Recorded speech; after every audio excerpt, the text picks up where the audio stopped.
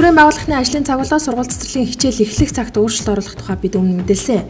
Нийслэлийн хэмжээнд шинэ цагийн хуваарын дагуу энэ 7 хоногоос эхлэн мөрдөнө гэж байсан ч төрөх цагаар хойшлогдсон байна. Учир нь энэ асуудлыг нийслэлийн удирдлагын зөвлөлийн хуралд оруулан эцэслэн шийдвэрлэхээр болжээ. Нийслэл иргэдийн төлөөлөгчдийн хурлын тогтоолоор нийслэл 52 орчит иргэдэд гэр бүлийн зориулалтаар 15309 га газарт цахим системээр газар өмчлөлгөөр шийдвэрлэсэн. Өнгөрсөн он нийслэлийн цэг даргын 2 удаагийн цахирамжаар нийт 13523 иргэн газар өмчилж авсан байна. Тэгвэл цахим системээр газар өмчлөх ажлын 2 дугаар ээлж өчигдөр эхэлж нээлтийн хонхыг зогссон байна.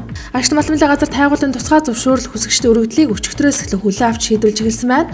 Агш малмлын тухай хууль нэмэлт өөрчлөлт оруулах тухай хуулийн дагуу Монгол Улсын нутаг дэвсгэрийн 19 орны 9% буюу 31 сая гадал ба тайгуулын зөвшөөрөл олох болсон. Үүнд 13.4% буюу 20.9 сая га талбад өргөдлийн журмаар хайгуулын тусгай зөвшөөрлөг олгож 6.5 буюу 10.1 сая га талбад сонгон шалгуулалтын журмаар тусгай зөвшөөрлөг олгохоор жормлоод байгаамаа. Ноён улаан аврыг хөдөлгөөнөөс өчигдөр Чингисэн талбай 50 жагсаал зохион байгууллаа. Сэлэн аймгийн Мандал сумын нутаг турших ноён уулнаас хүннэг үеийн язгууртны бурш олдсон бөгөөд одоогор хэдийдэн бурш нь малтал хийгээд байгаа юм. Харин Синтераг овол компани тус буршны ойролцоо буюу алт олборлохоор 2300 га талбай зөвшөөрөл авчээ. Ардчсан намын бүлэг өчигдөр хуралдаж эзэн засгийн ил тод байдлыг дэмжих тухай хуулийн эдийн засгийн өршөөл үзүүлэх тухай хууль болон нэмэн үртгэн албан татврын тухай хуулийн авто бензин, дизелийн түвшин онцгой татрыг нэмэгдүүлэх болон таванлагаа хөрөнгө оруулалтын асуудлыг хилэлцсэн байна. Мөн ерөнхий сайдын мэдээлэл улсын хурлын дарга мэдээллийг сонсчээ. Ерөнхий сайд сайхан мэлгийн зүгээс тендерийн тухай хуулийг эргүүлэн татах болсноо мэдээлжээ.